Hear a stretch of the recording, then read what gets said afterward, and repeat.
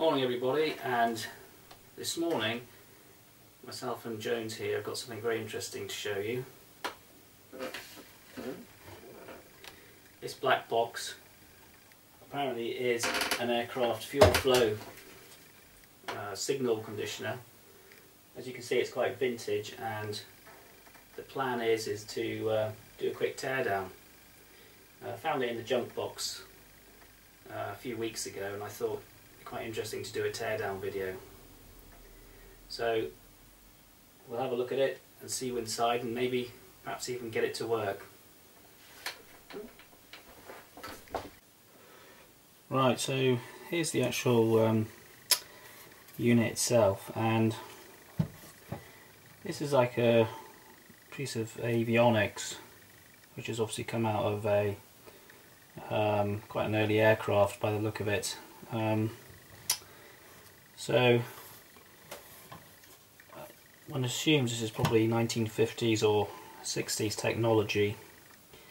Um, taking the, take the back off it and we'll have a look inside. So it's clearly got it's clearly all uh, valve technology, and uh, something like this um, would probably be form the number in in the avionics bay of uh, uh an aircraft um, with loads of other stuff as well, I presume. So uh, it's got this label on it, and it's from Rolls-Royce, Hucknall Aerodrome near Nottingham. Hmm, interesting.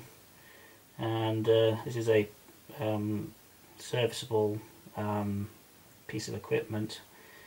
Uh, they've got the uh, um, repairable uh, crossed out, so it's actually serviceable and it says fuel flow uh, meter amplifier. So it's obviously some sort of signal conditioning. It's quite interesting when you think about it that you know these days a box like this would probably be on a single chip. But um, anyway this is what they used to use. And it's uh, pretty solid construction. This is actually steel I think, I might be aluminium. And you've got lots of um, air vents there for the um, obviously valves are going to get quite warm so has to be kept quite cool. Um, so we've got some writing on here MOD uh, 6 10 1965 just a few months before I was born. Um, so it is quite old. Um, 110 128 um, pounds 150 pounds per minute. I presume that rates to the uh, um, the actual um, thing that it's supposed to do because it's, as I said, it's a fuel flow meter. If you look at the front, so obviously this thing's designed to pull out. a couple of plug-in connectors here, um, 115 volts, 400 hertz, 28 volts DC. Um, this one here's the indicator, and here we've got the transmitter uh, for the fuel flow uh, transmitter from the aircraft. Um, now, fuel flow transmitters generally on aircraft they they fall into um, different sorts, but on the early ones they were simply um, a magnet with a vane. So the fuel would enter, and the rate of fuel then determines the displacement of a um, um a, a, vane with a magnet on it, and uh, that that is then the signal from that is then amplified by one of these. The more later ones, more later fuel flow uh, transmitters, but, but essentially use um, more complicated things with synchros and things like that. Um, and also um, the later fuel flow indicators actually calculate the fuel used as well as um, uh, the rate of uh, the, the rate of fuel flow. But I think this one is it's only got sync two two connectors in that uh, two pins on that connector, and I assume it's um, it must be a very basic type of um, transmitter. What's also very interesting, if you look on the box here, we've got a what looks like an aircraft registration number XA902, number one engine. And um, I did actually Google that registration, and it turns out this is actually from a Vulcan, a Vulcan bomber, which is which is makes it probably quite collectible, I would imagine. Anyway, so what we'll do is we'll take the back off and um, go through it in a bit more, a bit more detail. Right, I've taken the unit out of the box and uh, we can have a closer look at it now. So as you can see, um, we've got loads of valves and interesting to pack everything in that opens up like that. And we've got more valves underneath. So it all folds back down. There's a trimmer or something there which just prevents it from from it closing properly but uh, anyway moving round. Got a that's a uh, 400 hertz transformer one of the old Parmeko types by the, by the look of it. And uh, I had a look at these earlier on and that there is a um, full wave rectifier valve, half wave rectifier valve actually, and uh, the one next to it, um, CV4048, is a uh, voltage regulator, and apparently the, the take one of these screening caps off it. There we go. The um, strike voltage on that is 115 volts which fits with the system because it's all sort of it's all 115 400 hertz. And it regulates at 85 volts. So we've got voltage regulated. That's an, it's quite an unusual type apparently. Probably easier to leave that off um, so if you actually have a look underneath most of the electronics are here and Got a few old uh, paper type capacitors here. I mean these were very common in the 60s. If you have taken apart a vintage radio they're usually full of these. The trimmer there. But you can see like all this old stuff it's been meticulously put together. I mean they must have spent hours putting all these all these individual components and the way they're soldered as well it's very high quality, each individual component wrapped around a terminal. Um, if you ever try taking some of this stuff apart, um, it can be quite tricky. Over here we've got, just get out the way of the light, that's the uh, undersurface of the transformer. And uh, I wasn't quite sure what this is. This I think is some sort of capacitor probably a mica capacitor or something in a in a resin. It's in a it's in a resin case of some description. Never seen one like that. If anybody else has any ideas what that might be, it's difficult to get a good view of it. That thing there, interesting. I presume it's some sort of mm, very uh, stable capacitor, like a mica capacitor in a resin case.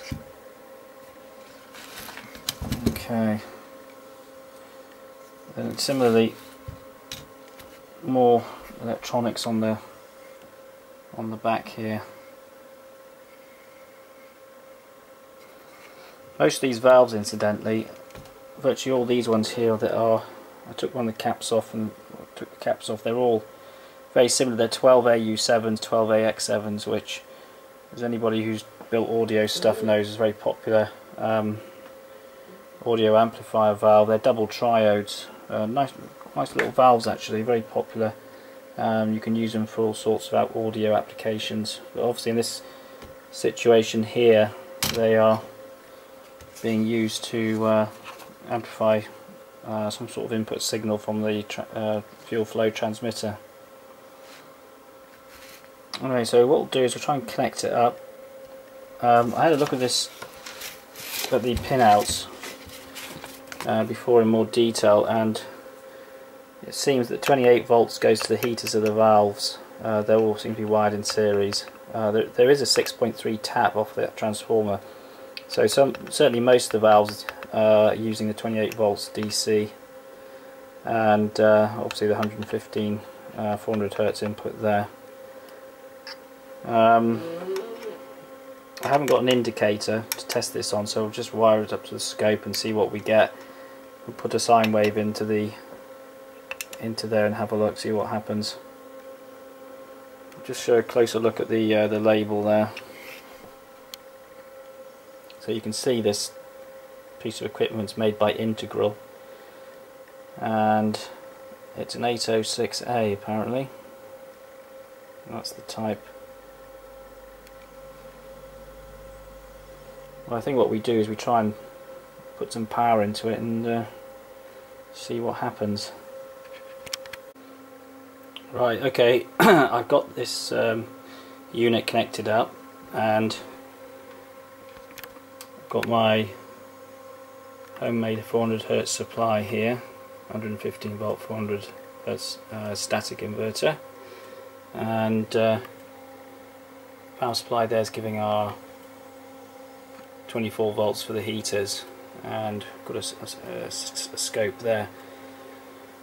So I'm going to be feeding this uh, from the signal generator a something about 50 hertz to start off with uh, sine wave and um, see what happens. Um, this is all a bit of a, a, guess really. I mean I'm not even sure what the output of the of the fuel flow transmitter would be. I mean I'm assuming it's because it's, most of these things have a magnet type thing it's going to be some sort of alternating current or voltage that this um, unit's going to be amplifying. So um, let's see what happens. I've got this oscilloscope probe and the only one that I can really get any info the only thing that I can really get anything out on at all just hold it on there.